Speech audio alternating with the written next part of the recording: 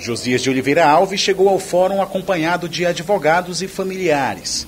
A audiência foi realizada na sede da primeira vara do Tribunal do Júri de Manaus e iniciou com mais de duas horas de atraso. Oito testemunhas foram chamadas pela defesa e acusação, mais três foram ouvidas em Manacapuru e uma em Manaquiri, no interior do estado. O canoeiro, de 30 anos, é acusado de jogar o próprio filho, de apenas quatro meses, nas águas do Rio Negro no dia 14 de agosto do ano passado. Na ocasião, Josias e a ex-mulher dele, Cleudes Maria Batista de Moraes, estavam em uma embarcação discutindo sobre a pensão alimentícia da criança. Josias foi preso e chegou a confessar o crime na delegacia. Estava em pé, né? E aí tu pegou a criança da mão dela jogou, arremessou.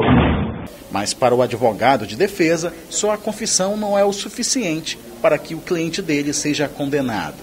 Uma única prova não pode servir em nosso ordenamento jurídico para a condenação de uma pessoa. O que nós temos contra ele e é o que o Ministério Público se ateve para denunciar é tão somente a confissão. E aí teríamos que avaliar em que termos foi feita essa confissão: numa delegacia ou perante um juiz com um advogado do lado.